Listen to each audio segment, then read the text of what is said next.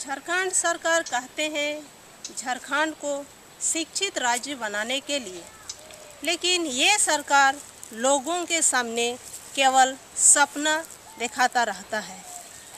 अगर ये सही में झारखंड राज्य को शिक्षित बनाने चाहता तो आज पाकुड़ ज़िले के रामपुर गाँव में आंगनबाड़ी भवन कब में बना होता? मेरा नाम संतोष मुर्मू है। मैं सेविका हूँ। 2001 से काम करते हैं। मेरे यहाँ भवन की असुविधा है। अभी तक भवन हम लोगों को नहीं मिला है। हम दो बार अप्लाई किए हैं, लेकिन अभी तक सुनवाई नहीं हुई है। बच्चे सबको बैठाने का असुविधा है। और इसके बाद सामान रखने का भी असुविधा है। और इसके बाद टीकाकरण ज़्यादा लोग आते हैं तो बैठाने का भी असुविधा है। अभी एनएम भी आई हुई है, आप देख सकते हैं, बाहर में बैठी हुई है आँगन में।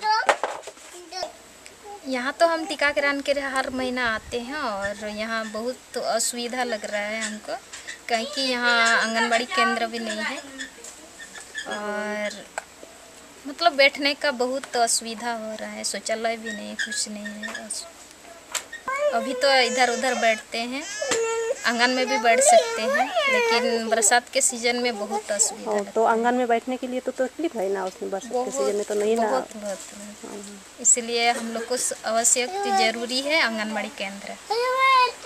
ठीक। मैं तमाम वीडियो देखने वालों से अपील करना चाहती हूँ कि महेशपुर बाल विकास प्रभारी को mobile number eight two nine four two six four three five six पर कॉल करें, ताकि जल्द से जल्द आंगनबाड़ी भवन निर्माण की जाए।